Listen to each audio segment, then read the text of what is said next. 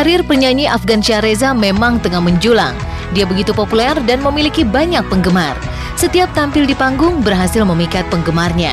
Namun, Afgan hanya manusia biasa. Sepopuler apa pun kehidupannya tidak lepas dari masalah.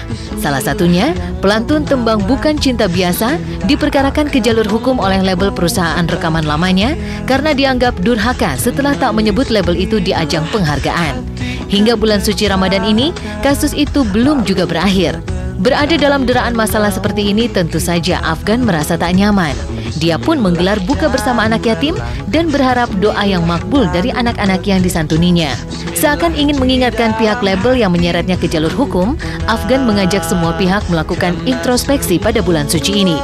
Ucapan Afgan juga menyeratkan ajakan untuk berdamai. Uh, ada momennya lah di mana kita harus mulai ingat sama saudara kita sendiri gitu kan. Dan menurut saya bulan puasa ini momen yang paling tepat lah buat saya mulai berbagi lagi ke saudara-saudara saya yang lain. Bulan Ramadan introspeksi.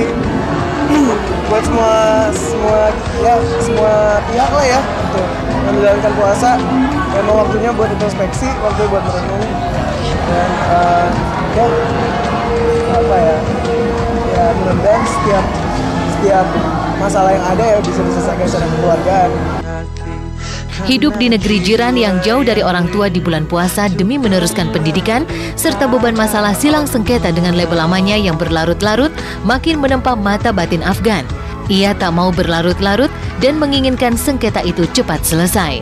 Bahkan Afgan menyebut pihak yang memperkarakan dirinya sebagai keluarganya sendiri. Karena itu, ia tak punya prasangka kepada mereka.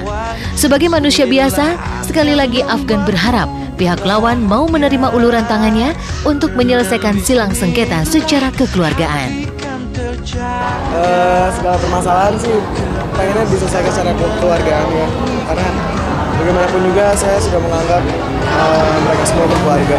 Mereka itu semua keluarga saya. Karena kadang saya yakin gitu. Saya yakin semua masalah pasti ada jalan keluarnya.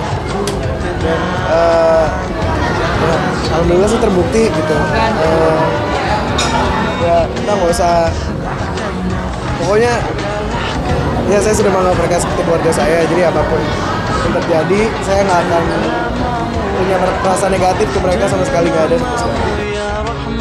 Demi terciptanya penyelesaian secara kekeluargaan, Afgan akan memanfaatkan Lebaran Idul Fitri tahun ini untuk bersilaturahmi dengan pihak label lamanya sekaligus bermaaf-maafan. Ia begitu optimis kasusnya dengan pihak label lamanya akan selesai lewat perdamaian. Alasannya, ia telah mencium gelagat itu dari orang-orang kepercayaannya yang menangani masalah ini. Semuanya dan saya yakin karena sudah ada uh, baik gitu dari masalah ini. Dan alhamdulillah petandanya akan selesai secara kekeluargaan. Terakhir terakhir saya dikasih tahu gitu ya alhamdulillah. Pastinya. Uh, ya kalau saya sih pastinya pengen lah pengen nanti kalau misalnya lebaran mungkin uh, ketemu lagi. Terus ya uh, bersilaturahmi lagi lah gitu. Karena saya juga menghargai mereka banget